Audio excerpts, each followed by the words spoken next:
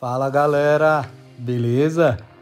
Pessoal, passando aqui algumas posições que são ensinadas no nosso curso de membros inferiores. Olha só que top!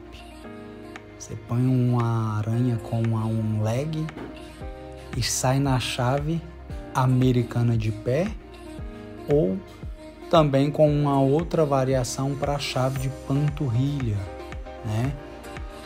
Olha só, essas variações são muito top.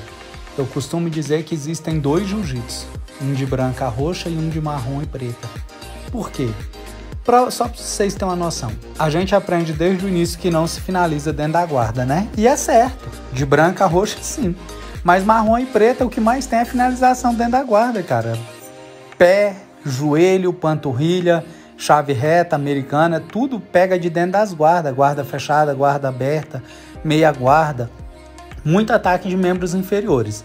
E quem não tem coragem de sair da zona de conforto quando chega na marrom, nunca vai ficar bom nesse outro jiu-jitsu, que é esse jiu-jitsu dos membros inferiores. Cara, são muitas, mas muitas, muitos ataques, sabe? É, é, é, é outro jiu-jitsu, cara. Então esse curso é completão, são mais de 40 videoaulas, tá? Fazendo ataques tanto fazendo guarda quanto passando guarda. Completíssimo esse curso para a galera aí, principalmente que está chegando na marrom, já é marrom e preta e não tem bem a manha, tá? Tudo quanto é posição que às vezes a gente pre pretende só raspar ou passar, a gente pode já entrar direto para as finalizações de membros inferiores. Então, esse curso completo por apenas 50, 100 reais.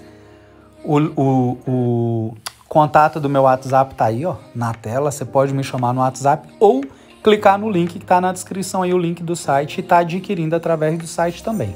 Tá bom? Tem o suporte, eu dou esse acompanhamento, tem o, o grupo onde eu posto conteúdo diariamente, dou dica, tiro dúvida do pessoal quando surge.